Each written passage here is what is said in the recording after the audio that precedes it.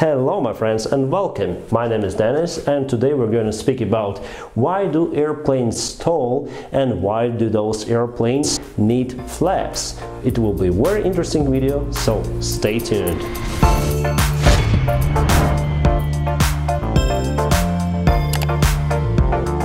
Before we start, I would like to say that don't take my videos as your guide to aerodynamic laws or to principles of flight. If you want to become a pilot, go to certified flight school with certified instructors that have certified uh, materials for you to understand everything. This video is done just for joy purposes. Alright guys, let's start. I'll draw the airfoil for you and for me also. So here's the wing the classical airfoil and we have some of the pitch. Let's say this is the big airplane and this is the part of the wing the airfoil we connect the front part with the aft part over here. It will be the chord line. So here's the chord line. And in aerodynamic we use the speed of the air coming into the airfoil to discuss it with you. So we are not admitting that we are flying through the air. We are admitting here that the air is traveling with the same speed as the airplane flies inside into the air, inside the air. Actually small particles, small air particles, they hit the wing, they hit the airplane, so we admit that the air is coming into the wing. I hope it's understandable. And this angle between the particles, actually the airflow and the chord, it's called alpha. Alpha is angle of attack. And the more of angle of attack you have on the swing, the more of lift force you'll have, the lift force coefficient to be more precise. So here's the angle. If you increase it more, you'll have more lift. But you cannot increase it forever. At some point, the critical alpha, alpha critical, the airfoil will be so turbulent over your wing, then the particles of the air will not go through your wing, they will just separate and fly. And they fly like this the turbulent air. So they will just separate. This air will continue to follow but this air will separate. And there is where your airplane where your wing stalls it's time for our toy here, the airplane toy. I call it the Red Baron and as you can see it has the very plain wing design. It's not the swept wing design, it's standard, well if I will remove the winglet it will be a rectangular wing and stall doesn't develop all over the wing right away. Usually in this plain wing design the stall develops usually at the wing root over here and if we talk about the swept wing design it will be more worst case i would like it's uh, like disadvantage of swept wing design because stall develops here near to the wing tips where the ailerons are located. So it is much easier to lose the roll controllability on the airplane with a swept wing design after the alpha critical. So during your stall you lose of course the controllability for the swept wing design but also it's very dangerous for standard wing design. But you will feel, then you stall, you will feel this kind of vibrations, then the airflow start to separate from the wing and also have some of the features for our airplanes like new features and also old features. We have alpha vane, it detects the airflow, uh, the angle of attack actually. It's the small vane near to the nose of airplane usually or sometimes it may be located at the wing itself and if you enter the stall condition you have also the stall warning inside the cockpit like telling you stall stall. Or you may have the stick shaker like on Boeing 737 or sometimes even stick pusher if the alpha is too high like for example on ATR 72 or ATR 42 to postpone the stall near to the wingtips on swept wing design uh, usually uh, the designers put the tips a little bit down by reducing the uh, airfoil pitch a little bit down so it will stall a little bit later and the ailerons here will be more effective during the stall conditions. Pam pam. Now it's time for the graph. I already drawn the ratio between the lift coefficient, uh, lift force coefficient and the alpha. Alpha you already know, it's the angle of attack, no need to discuss. And here the lift coefficient, well let's say it's the mostly wing characteristics, wing curve, uh, airfoil, airfoil width, and other stuff that you don't really need to know.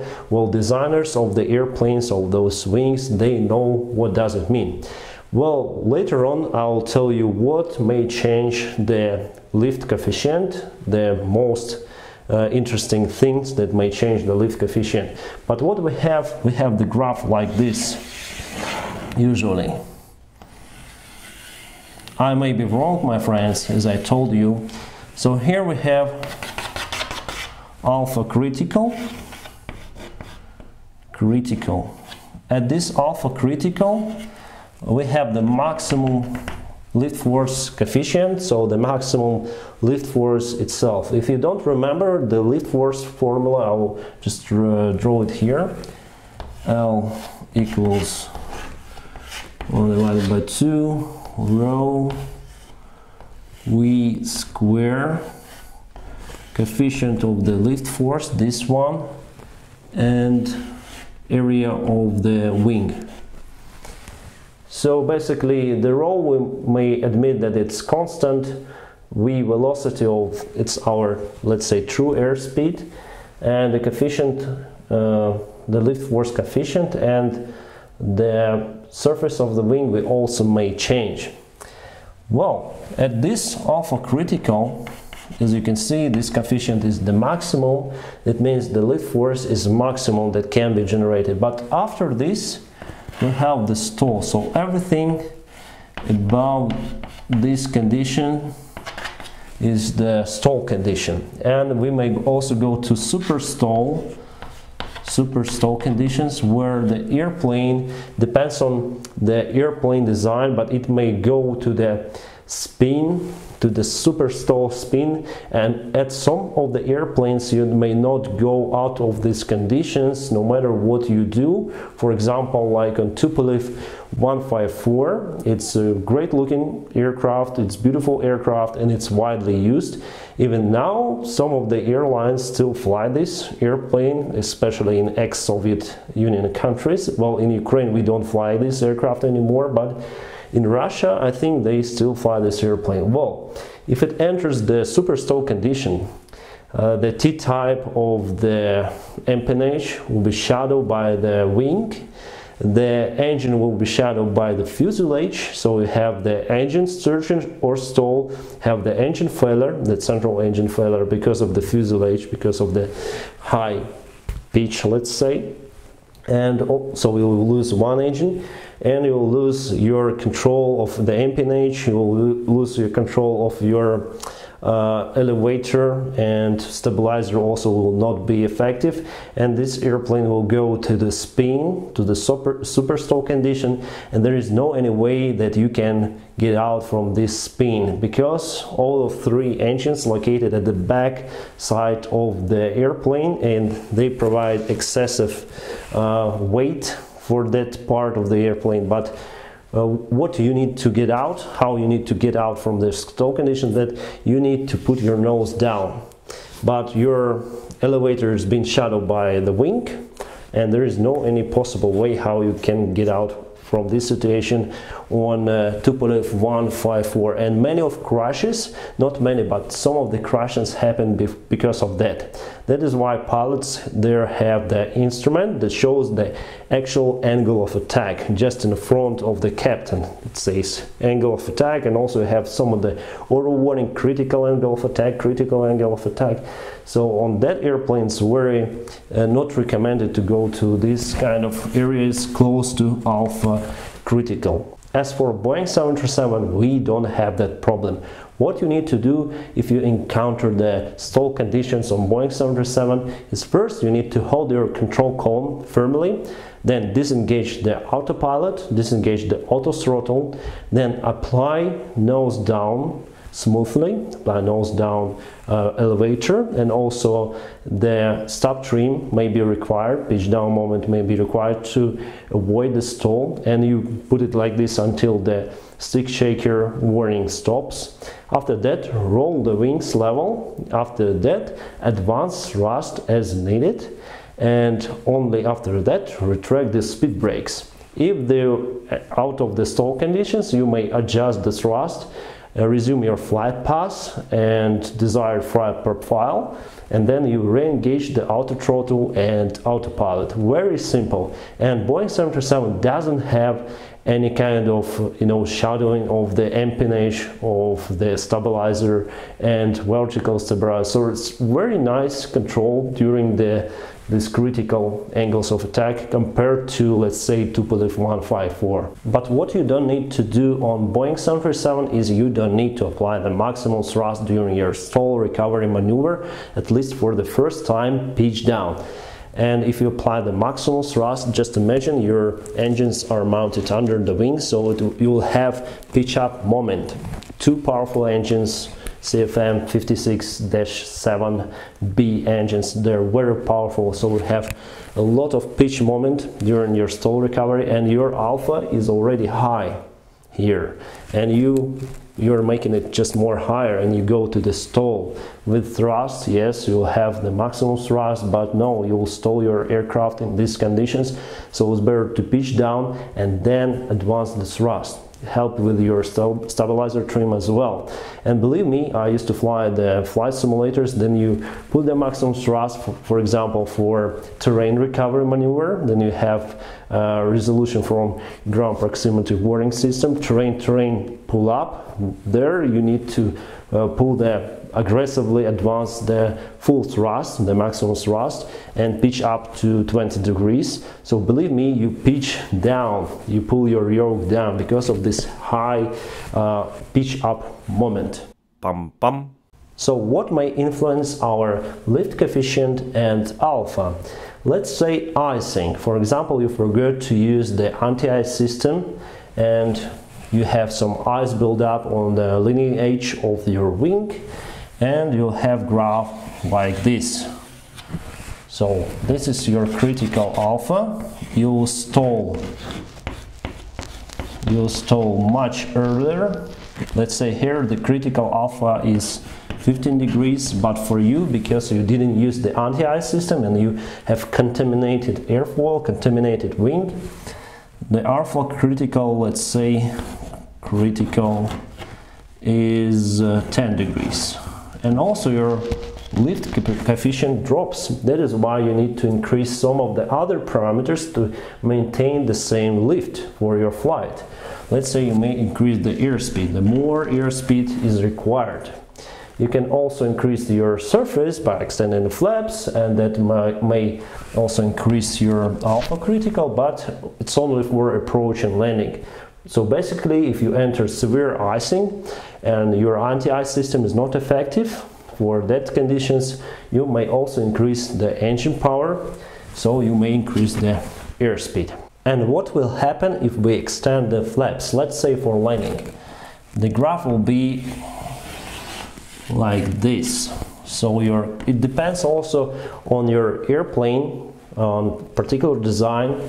The alpha critical may be here or it may be here, but usually it's a little bit further than this. So we have larger alpha critical, usually. It's here, maybe it's uh, it was 15 degrees, but it became like 16 degrees. That is why, uh, especially for ATR, I'm sure it's about that, because during the stall recovery maneuver, you need to extend your flaps. So if you have no flaps, zero flaps configuration and you enter the stall condition, you basically need to extend the flaps and add some, uh, some power on your ATR, 72 or 42. So at least it was like this before, then I was flying it four years ago. So we have more also uh, greater CL, the coefficient of your lift force. So that is why we really, we really need flaps to maintain the same lift force for your approach and landing.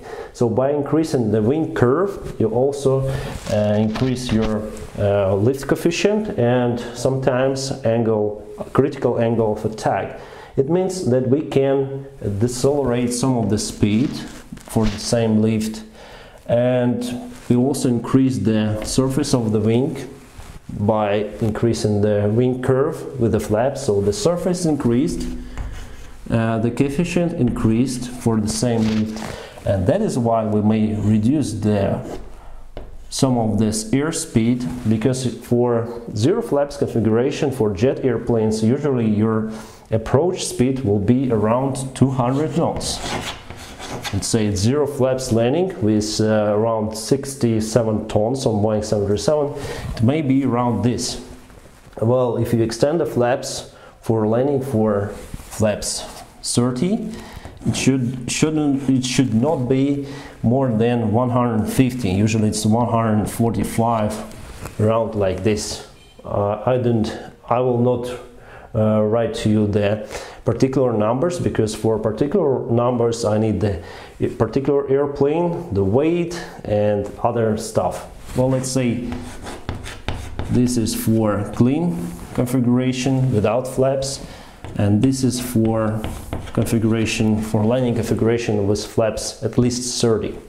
So that is why we extend this, we increase the lift coefficient for that. I hope my friends it is understandable. My friends, I'm not the teacher explaining you this stuff, so if you want to be to become a pilot, you need to go to professional flight school.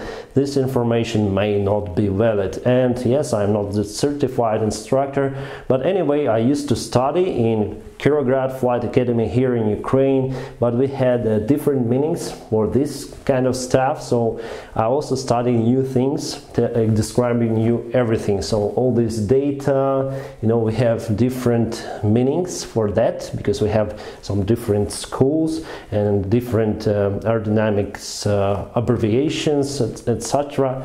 But the idea is almost the same. So my friends if you like this video you may watch them but usually they do not uh, have so many views as for example simulator videos. Anyway if you're watching this video it means you are awesome guy and you need to follow the awesome guy checklist as usual. First like this video then subscribe to my channel and then Yes, ring the bell, whatever it means. Thank you very much for watching this video and have a great time.